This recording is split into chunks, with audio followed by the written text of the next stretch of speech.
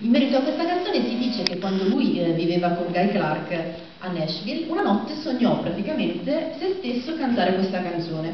Il giorno dopo si alzò, la trascrisse e questa canzone scalò poi le classifiche, arrivando a un successo incredibile grazie all'interpretazione di Emmylou Harris. Ascoltiamola insieme, If I Needed You, Erika Opizzi.